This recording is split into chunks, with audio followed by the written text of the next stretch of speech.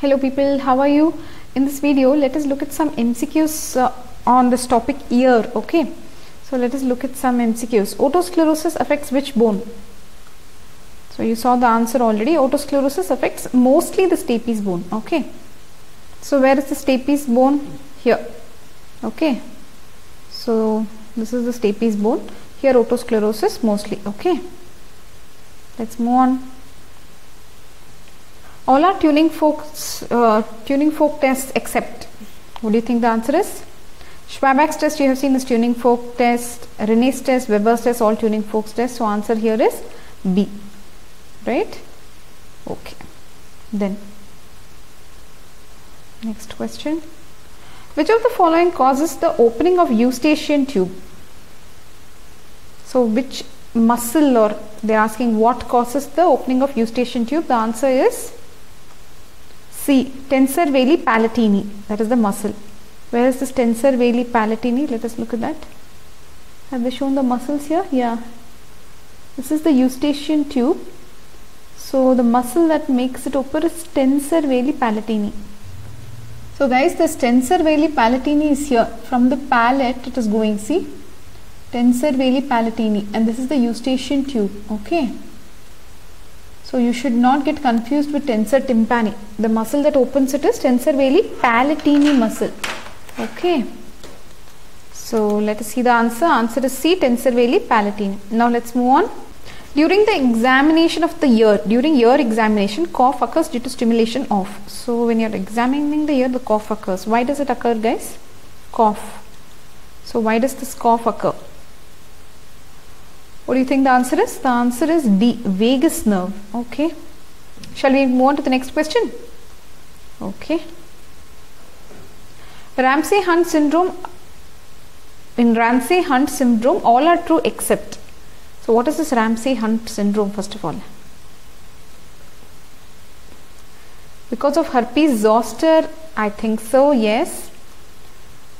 Seventh nerve is involved that is nothing but facial nerve right? Facial muscles are involved seems about appropriate. Okay. Facial vesicles are seen. On the face are there any vesicles?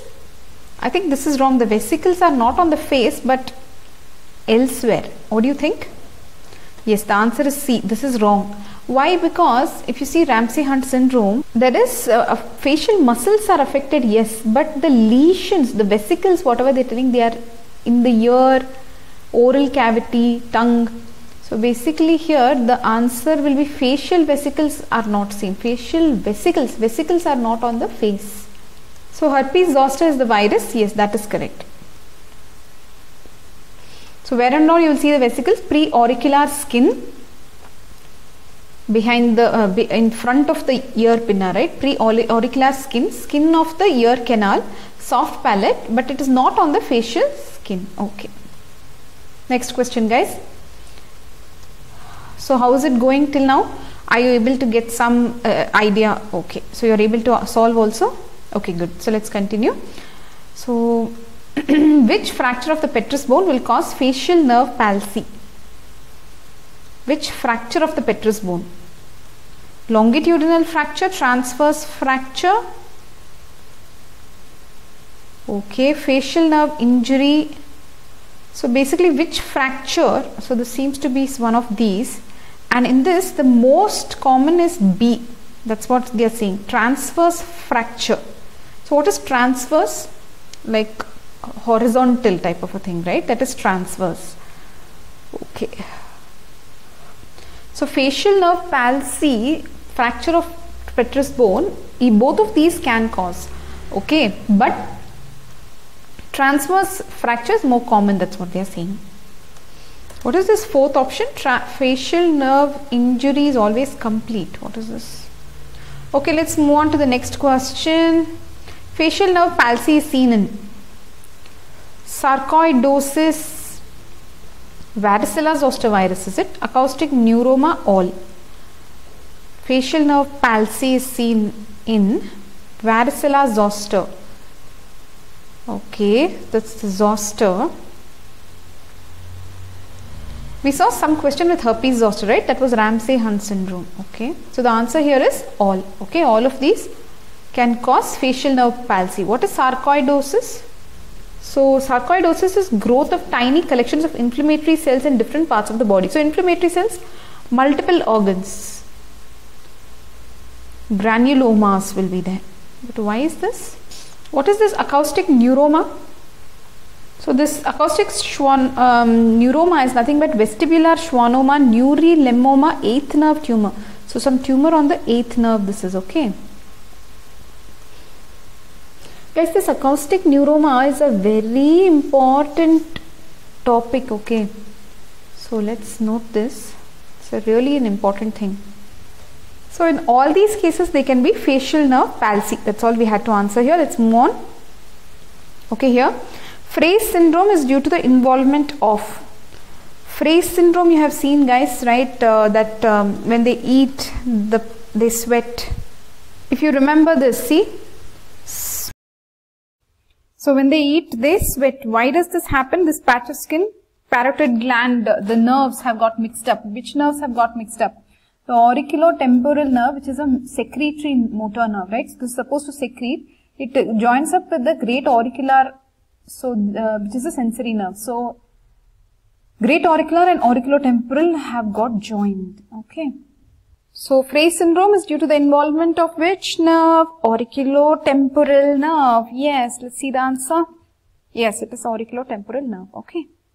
Okay, so let's move on guys. What do you say? Shall we move on to the next question? Take a break, take a deep breath. Okay. Now, schwannoma involves dash, vestibular part of this cochlear. See, schwannoma is a very common word actually, isn't it? That's what we studied in pathology. Let's look at the answer here. They're talking about the ear. So anyways, vestibular part of the eighth nerve. Okay. So if you remember the ear anatomy, go back here. Where is the vestibular part? Here you have the vestibular part, right? Wait. This is the vestibular part of the eighth nerve. Here you have the cochlear part of the eighth nerve. These two will join and become the vestibulocochlear nerve. So they're saying the vestibular nerve schwannoma. Okay.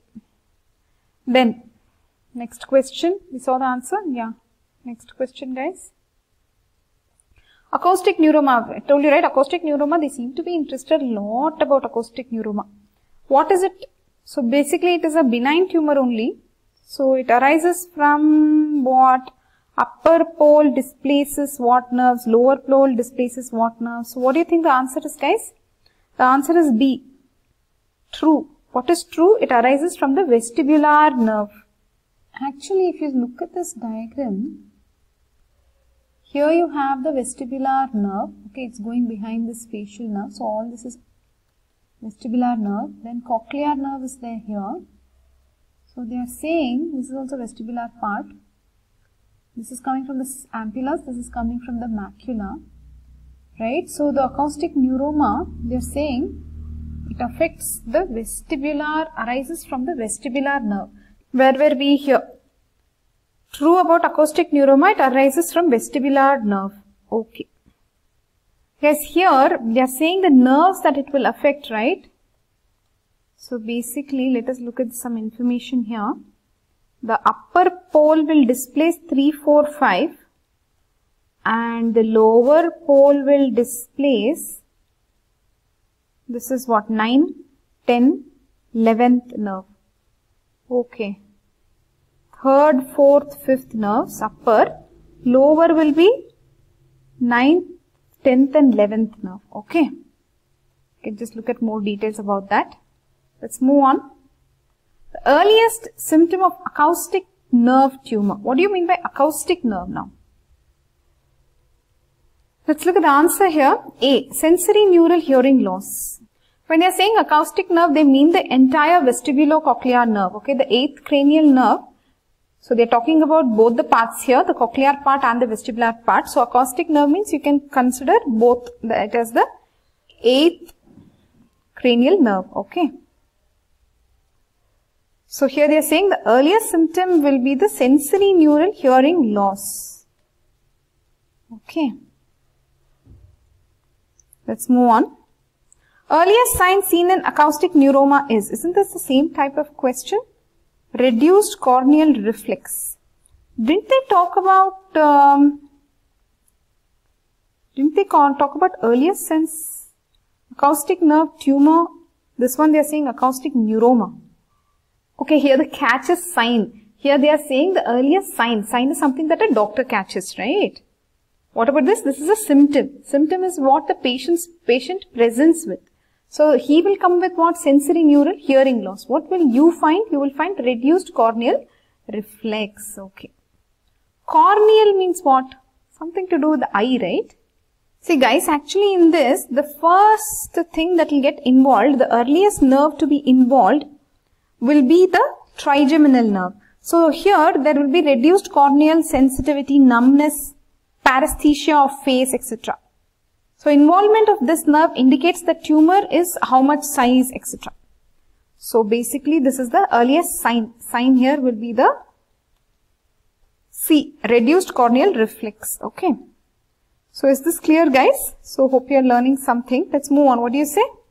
In acoustic neuroma, the cranial nerve to be involved earliest is, we already told you the answer, it is the trigeminal, so answer is A, that is fifth cranial nerve. Acoustic neuroma causes, now let's try to answer this one. We have seen so much about acoustic neuroma.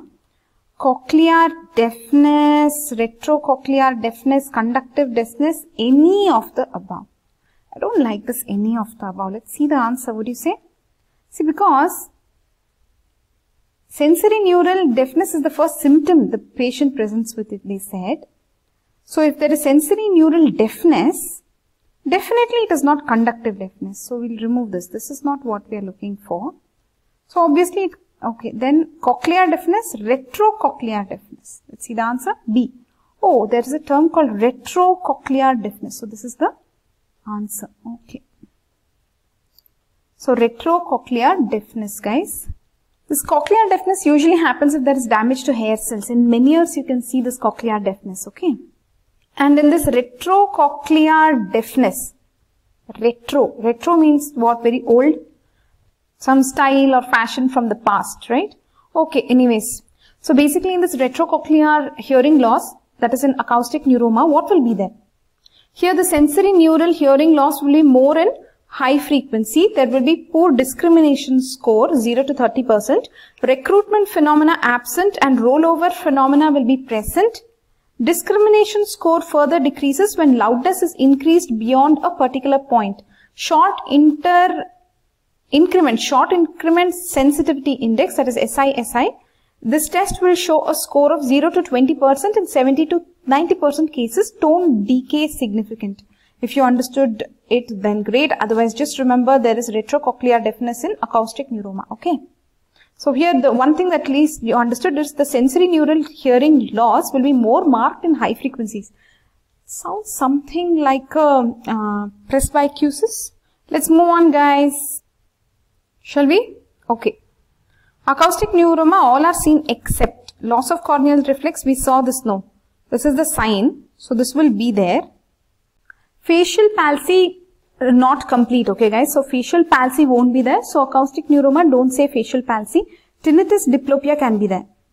Tinnitus very early it will be there. Diplopia will be a late feature, okay. So facial palsy you can rule out guys. So answer here is facial palsy. So the, this is kind of though it has some pressure on acoustic um, on the facial nerve etc facial palsy they are not saying is associated okay next question here in a patient with acoustic neuroma all are seen except again it's an except question so facial nerve may be involved, reduced corneal reflex. Facial nerve may be involved. This is kind of always a maybe with facial nerve. Okay. Reduced corneal reflex. Yes, this is a sign. Acute episode of vertigo. So vertigo will not be there, guys. Look at this. Answer is D.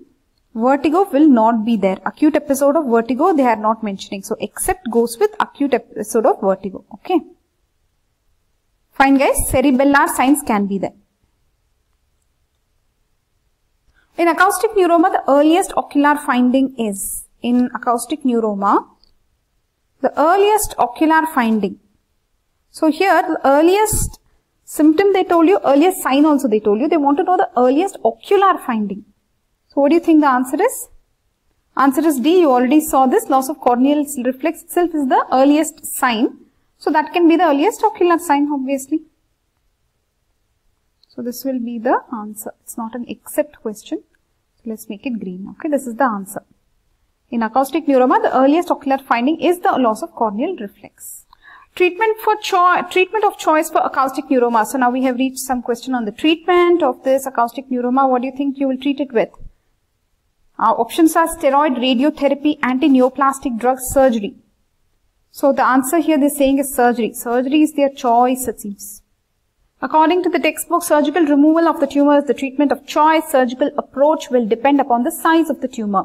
Various approaches are there. Middle crania fossa approach, translabyrinthine approach, suboccipital, that is retrosigmoid approach, combined translabyrinthine suboccipital approach. So many approaches are there. Surgery is a treatment of choice for what? For acoustic neuroma. Have you seen the neuroma, acoustic neuroma? This one they're saying they will remove it surgically. That's the best thing to do. Next question for you. The usual location of glomus tumor, jugular, jugulare, jugulare tumor. Is there something like this really? Yes, it is there. Glomus jugulare tumor. So you tell the usual location. Where will this location be there? See in this jugular, uh, what am I seeing? Glomus tumor, right? You have glomus jugulare, glomus tympanicum, and anything else is there. Okay, two they have mentioned here. In what? Basically, this is a benign tumor, glomus tumor. It's the most common benign neoplasm of the middle ear. It is uh, from the glomus bodies. So why do they have this name? Because they resemble carotid body in the structure which are found in the dome of the jugular bulb. So they named it something like this. Okay. So the usual uh, location of glomus jugulare tumor, we already told you it's a middle ear benign tumor. So what do you think is it? Middle ear means what? It will be not this, not this. So these two are wrong. So what is the answer here? It will be epitympanum or hypotympanum because it has to be middle ear. So the answer here is hypotympanum. Hypotympanum is the answer. Okay. Let's move on guys. This FIS SCH classification is used for what? It's used for glomus tumor. What do you say? Yes, answer is glomus tumor. So they are using this FISCH classification. Okay. Type A, type B, type C, type D. So type A is it's there only in the middle ear. Type D it has reached the intracranial extension. So it looks like type B has extended more. What do you say?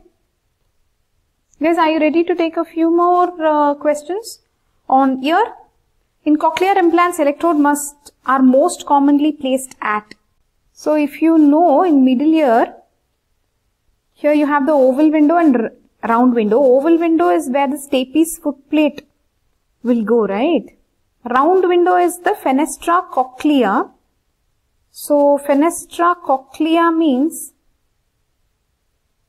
it uh, opens where it round window, round window. See oval window, stapes. Round window will do what? A small round opening.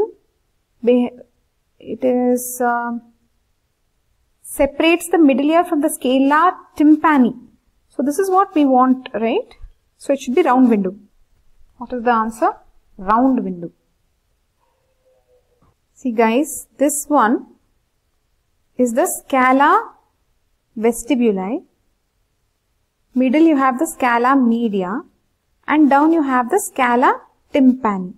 Scala vestibuli you have the oval window. Scala tympani you have the round window. Right? Stapes actually works on oval window. Now they are saying cochlear implant you are giving. So this entire thing you're seeing, this is cochlea. So you're giving cochlear implant. Okay. And they're saying the answer is round window. Okay. Let us see where will you place the electrode. You will place it at the round window. So the electrodes in cochlear implants are most commonly placed at a round window. So basically it's most commonly only they are saying. Here in this photo very clearly they have shown that. See? Going through the round window kind of a thing. Because stapes is here. You can clearly see it's not on the oval window. It's on the round window. Okay. electrodes they have shown here. It's going through the round window. Okay. Guys, uh, what you should understand in the mechanism of hearing, you have understood how the hearing happens, right? So what happens, the stapes will uh, act on this oval window, then the perilymph will move. So the perilymph where in the scala vestibuli will move. There is displacement of fluid even in the scala media. The basilar membrane, okay, there is a bulging of basilar membrane towards round window. The fluid in tympanic, scala tympani also will move, okay. The movement of the scala tympani fluid also will occur towards the round window. Right, and then this basilar membrane, because of this, there is wave, okay, towards the helicotrema. So basically this is the traveling wave theory. Okay, so round window is where you will place the electrode in cochlear implant. Okay, let's move on. All of the following diseases have a consistent symptom of tinnitus except tinnitus you have seen in uh, Meniere's. Yes, we have seen in Meniere's. So this is a green. We have seen it there. Otosclerosis will have tinnitus. This is what? Chronic suppurative otitis media. Yes, otitis media. See this. I think the answer is mastoiditis, you know, because mastoiditis is somewhere away from the parts we are talking about. What do you say? Let's look at the answer. Yes, answer is mastoiditis. So basically what is mastoiditis? The inflammation of all the um, lining of this air cells, mastoid air cells. You know what the mastoid is and all that, right? Or should we explain that? Right? So here you have the air cells, right? Behind Behind the ear, that bone, you have the mastoid air cells. Look at here, this is the mastoid process. Inside that you have the air cells. So whenever this gets infected and all, you will have a mastoiditis. So this doesn't cause tinnitus, that is the ringing of the ear. Or ringing in the ear, right? Tinnitus. So that's not happening because of mastoiditis. It can happen because of Meniere's disease. Meniere's disease, what? Endolymphatic hydrops, chronic suppurative otitis media, that is infection of the middle ear can happen. Otosclerosis because of the problem with the uh, stapes being very stiff, right? Can all that, it can cause this ringing of the ear. Pars flaccida of the tympanic membrane is also called as, let's look at this. If you remember our tympanic membrane anatomy and all that, so here you have the anatomy, the tympanic membrane, the parts, you have pars tensa and pars flaccida. Pars tensa is the maximum part, pars flaccida is this portion. It is also called as Shrapnell's membrane this gray thing. Okay, this is pars flaccida. It's also called a Shrapnell's membrane. Okay. So let us look at the answer here. Shrapnell's membrane. Guys, basically, where will you see this Reissner's membrane? Reissner's membrane is in uh, the, it is Reissner's membrane and basilar membrane. These two are membranes of the scala media. These are the borders of scala media, right? And what is the secondary tympanic membrane? Secondary tympanic membrane is nothing but the round window, right? So secondary tympanic membrane is a membrane closing the round window and separating the scala tympani from the middle ear. So this separates the scala tympani from the middle ear. This is where they are keeping the electrode also for that cochlear implant, remember? Right. Let's move on now. CSF otorrhoea is caused by. So what is this otorrhoea? Some discharge from here? See, otorrhoea is nothing but um, a discharge from the ear, but here they are talking about CSF discharge, so that is really scary, right? Leakage of the cerebrospinal fluid uh, into the middle ear cavity or mastoid air cells, that's scary. So why can this happen? Your options are rupture of tympanic membrane, I don't think this should lead to some CSF leakage. Fracture of cribriform plate, cribriform plate, then what else are the options? parietal bone, where is parietal bone here on top? Fracture of petrous part of temporal bone. What do you think is the answer guys? I have a feeling that, okay let me not tell my feeling answer, I will tell you. Answer is D, fracture of petrous temporal bone. Oh, okay, answer is the fracture of petrous temporal bone. Yes, if it is congenital CSF otorrhoea, then you can go for something called as this fissure. Okay. But here they are not talking about the congenital, okay. They are saying cerebrospinal spinal fluid otorrhoea. This can be there in temporal bone fracture, that is the petrous part of temporal bone, that is this part, right? This is the petrous part of temporal bone, right? So basically this part of it, if it is fractured, then it can lead to cerebrospinal spinal fluid otorrhea. According to the textbook, it is in the longitudinal fracture of the petrous temporal bone. Longitudinal means how it will be? This one, axis of longitudinal fracture. Okay. Better to read some uh, standard books for this information. Okay. Now let's move on. Siegel speculum is used, use of Siegel speculum during an examination of the ear provides all except. So here it's an except question. What are they not using it for? So three options are correct. Assessment of the movement of tympanic membrane, removal of foreign body. Oops, answer is visible. Okay. As applicator of the powered antibiotic of ear. So you can use it as an applicator. You can use it to assess the movement. You can use it for magnification, but you cannot use it for removal of foreign body from the ear. See, if you remember, we have seen the Siegel speculum here, right? So they are trying to see something inside. So you can definitely magnify. So you can assess the movement, you can use it to apply powdered antibiotic. Okay. But you cannot remove any foreign body from the ear. Okay. So congratulations guys, you have finished this year MCQs video. We just looked at a few MCQs only. Still so many MCQs are there. Um, we will take them up slowly, okay? That's all for now guys. Bye bye.